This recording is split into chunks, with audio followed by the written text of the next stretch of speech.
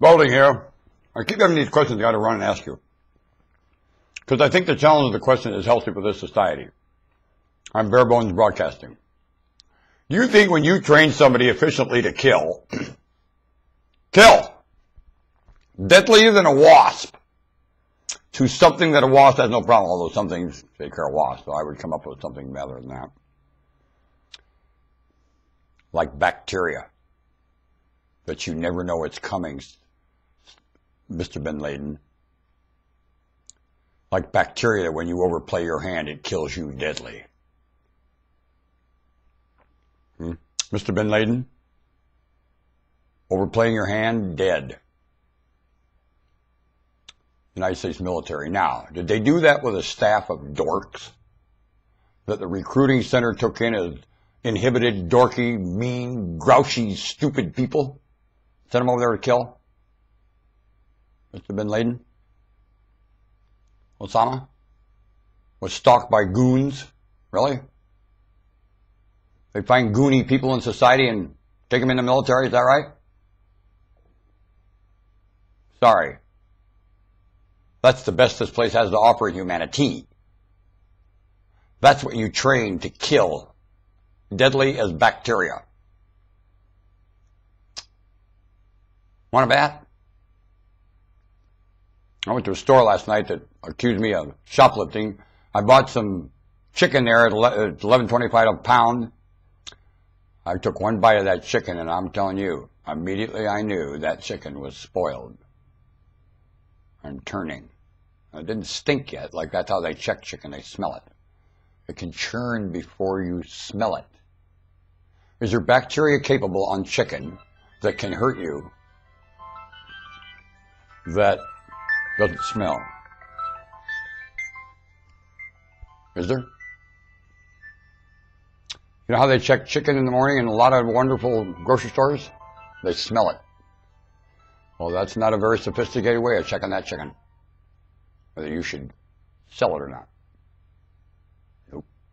As far as I'm concerned, that would be a far more sophisticated way where you take that sample of whatever's there and you drop it in something and it tells you what the composition of bacteria is. Absolutely. And not your nose or the interpretation of the odor of it.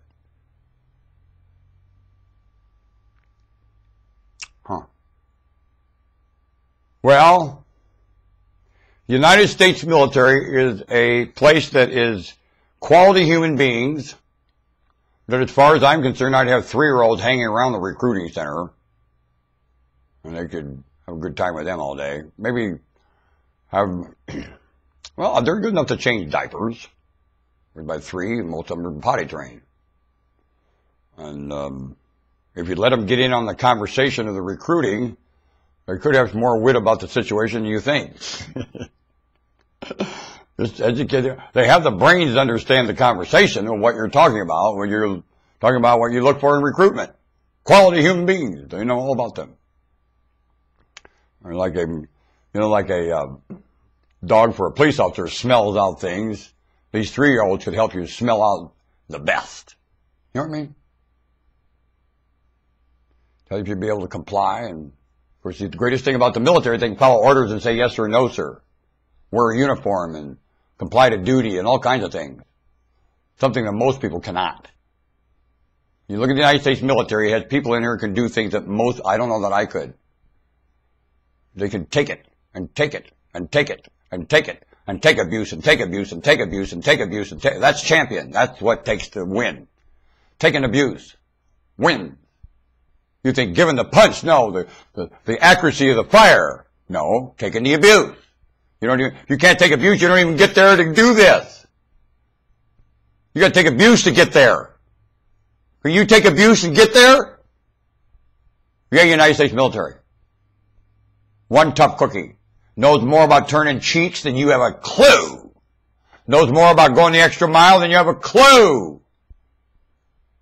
Each one of them. They come home, their humans don't even understand that. Wonder why they grieve. Oh, the duty overseas. No! The no duty at home. Grieving this military. Do you understand me? Spalding, moving on. Thank you, United States military. The best humanity has to offer. Thank you. I look up to you as a Jewish monarch. I need you. I need you in other chores. I would assign you different tasks. That's all. Mm-hmm. It's just a matter of priority. Not the matter they're not good enough. Or it's a matter these are a little better, and it's your priority because this is where you come from. Period. And if everybody take care of their priorities first, nobody would be anywhere. Ha! Take care of all this. What would, do you think there'd still be tourist trade if everyone would take care of priority? How would the tourist business look? Got time for a tour? I'm bored. Can we take a tour? You're bored because you're not contributing at home with all you got. Look at the cost of that tour. Man! Gang problem, huh?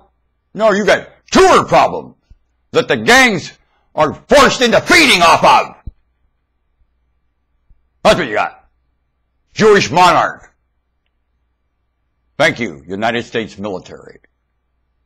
You're needed at home by, and for example, more than anything.